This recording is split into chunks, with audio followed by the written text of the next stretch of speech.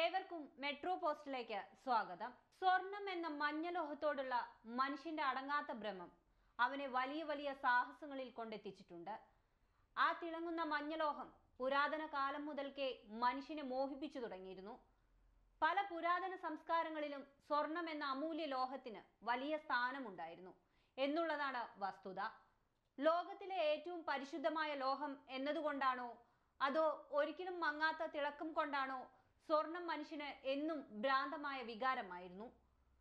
പുരാതന Babylonian Mesopotamian സംസ്കാരങ്ങളിൽ സ്വർണം അമൂല്യവും വിശുദ്ധവുമെങ്കിൽ പുരാതന സുമേറിയൻ സംസ്കാരങ്ങളിൽ സ്വർണം ദൈവികമായിരുന്നു. ഗഹനചാരികളും സുമേറിയൻ ദൈവങ്ങളുമായ അനുനാഗികൾ പ്രപഞ്ചത്തിന്റെ നിഗൂഢവും അജ്ഞാതവുമായ മറ്റൊരു കോണിൽ നിന്ന് ഈ ഭൂമിയിലേക്ക് വന്നത് ഭൂമിയിലെ അമൂല്യമായ മഞ്ഞുലോഹം തേടിയാണെന്നാണ് പറയപ്പെടുന്നത്. ഈജിപ്ഷ്യൻ ഇന്ത്യൻ സംസ്കാരങ്ങളിൽ സ്വർണം പ്രൗഢിയുടെയും കുലീനതയുടെയും അടയാളമായിരുന്നു. അതായിരുന്നു സ്വർണം എന്ന മനുഷ്യനെ മോഹിപ്പിച്ചിരുന്ന മോഹിപ്പിച്ചുകൊണ്ടേയിരിക്കുന്ന മഞ്ഞലോഹം. നമ്മുടെ ഇന്ത്യയിൽ സഹസ്രാബ്ദങ്ങൾ പഴക്കമുള്ള പൈതൃകത്തെയും വ്യാപാര വാണിജ്യ ബന്ധങ്ങളെയും പറ്റിയുള്ള വലിയ പഠനങ്ങളോ ഗവേഷണങ്ങളോ ഒന്നും കാര്യമായി നടന്നിട്ടില്ല. അത് ചെയ്യുന്നവർ തന്നെ മിക്കവാറും വിദ്വേഷം പടർത്താനാണ് അതൊക്കെ ഉപയോഗിക്കുന്നതും പുരാതന ഇന്ത്യയുടെ ചരിത്രം സൈന്ധവ സരസ്വതി നാഗരീതിയിൽ മാത്രം ഒതുങ്ങുന്നതല്ലെന്നുള്ളതാണ് വാസ്തവം.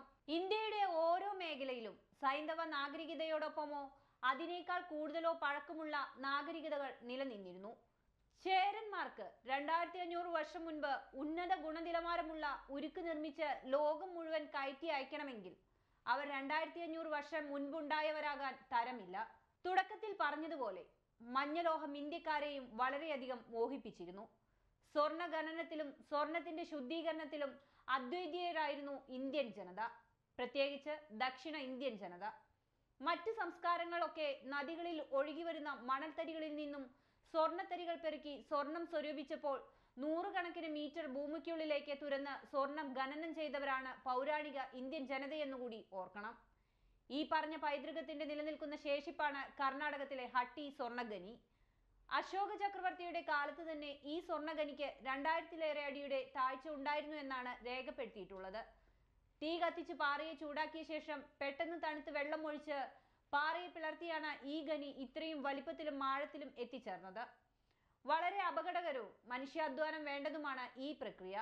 അതിനാൽ തന്നെ ഈ ആഴത്തിലെത്താൻ നൂറ്റാണ്ടുകൾ തന്നെ എടുത്തിരിക്കും. പൊട്ടിച്ചെടുക്കുന്ന പാറക്കഷ്ണങ്ങൾ പൊട്ടിച്ച് അരച്ച് ഭസ്മമാക്കിയ ശേഷം ഗ്രാവിറ്റി സെപ്പറേഷൻ എന്ന് ഇന്നറിയപ്പെടുന്ന പ്രക്രിയയിലൂടെയാണ് ഹട്ടിഗനിയിൽ നിന്ന് സ്വർണം വേർതിരിച്ചെടുത്തിരുന്നതെന്നാണ് രേഖകൾ പറയുന്നത്. അതിപുരാതന കാലത്ത് ഇത്തരം സങ്കീർണമായ ഒരു സ്വർണഖനി പ്രവർത്തിപ്പിക്കുന്നതിന് ശക്തമായ ഒരു കേന്ദ്രീകൃത ഭരണത്തിലേ കഴിയുമായിരുന്നുള്ളൂ. ആ ഭരണവ്യവസ്ഥ ഇന്നും നമുക്ക് അജ്ഞാതമാണ്. വൈദേശിക തേർവാഴ്ചയുടെ കാലത്ത് ഹട്ടിഗനി ഉപേക്ഷിക്കപ്പെട്ടു. ഒരുപക്ഷെ ഖനിയുടെ സ്ഥാനം ബുദ്ധിമാന്മാരായ തദ്ദേശീയർ വൈദേശിക ആക്രമണകാരികളിൽ നിന്നും ഒളിപ്പിച്ചതുമാകാമെന്നും പറയപ്പെടുന്നു. ബ്രിട്ടീഷുകാർ പത്തൊൻപതാം നൂറ്റാണ്ടിൽ ഈ ഖനി വീണ്ടും വികസിപ്പിച്ച് പ്രവർത്തിപ്പിച്ചതായി രേഖകളുണ്ട്. ഖനിയിൽ നിന്നും ലഭിച്ച സ്വർണമെല്ലാം അവർ ബ്രിട്ടനിലേക്ക് കടത്തി. ഹൈദരാബാദ് നിസാമിന്റെ സമ്പത്തിന്റെ ഉറവിടവും ഈ സ്വർണഖനി ആയിരുന്നതായാണ് ചരിത്രം രേഖപ്പെടുത്തുന്നത്. ഇന്നും ഈ ഖനിയിൽ നിന്നും സ്വർണം ഉൽപ്പാദിപ്പിക്കാനാവുമെന്ന് തന്നെയാണ് പ്രസ്തുത ഖനിയെക്കുറിച്ച് പഠനം നടത്തിയവർ പറയുന്നത്. ബ്രിട്ടീഷുകാരുടെ കഴുത്തറപ്പൻ ഖനനം ഖനിയുടെ സ്ഥിരതയെ ബാധിക്കുകയും വെള്ളം ഖനിയിലേക്ക് ഇരച്ചു കയറാൻ ഇടയാക്കുകയും ചെയ്തിരുന്നു. ഇന്ത്യയിലെ ഒരേ ഒരു ജീവസ്വറ്റ സ്വർണഖനിയാണ് ഹട്ടി സ്വർണഖനി എന്നുള്ള പ്രത്യേകതയും അവയ്ക്കുണ്ട്. ഓരോ വർഷവും ഒരു ടണ്ണിലധികം സ്വർണം ഇവിടെ നിന്നും ഉൽപ്പാദിപ്പിക്കുന്നുണ്ടെന്നാണ് കണക്കുകൾ പറയുന്നത്. ഒരുപക്ഷെ ആധുനിക ഖനന മാർഗങ്ങൾ അവലംബിച്ചാൽ ഈ പുരാതന സ്വർണഖനി ഇനിയും ആയിരക്കണക്കിന് ടൺ സ്വർണം വിട്ടു നൽകിയേക്കുമെന്നുള്ളതാണ് യാഥാർത്ഥ്യവും.